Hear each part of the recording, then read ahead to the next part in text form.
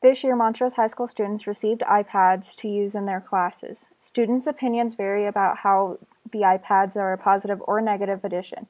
Dustin Bergdahl feels the school could have used the money for needed improvements. iPads are a really, really dumb idea because one, we could have used the iPads for all the money that we spent on the iPads for like building improvements. I mean, the building is like terrible. I mean, there's parts of the building that like suck, like the roofing, the leaking in the hallways and classrooms. That is. Many teachers, including choir teacher Jenna Frank, began using the iPads last spring and feel they are an excellent tool.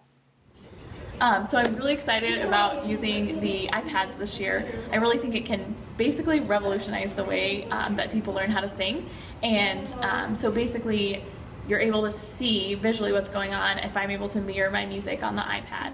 Senior Colton Bradshaw feels having the iPads can lower stress and can help students with homework. I think the iPads are really good. You know, we can communicate with other kids on classroom if we need help get Google Docs going. We can send stuff at home instead of stressing out about too much homework. This is Sierra Schroeder reporting for the Chieftain Online.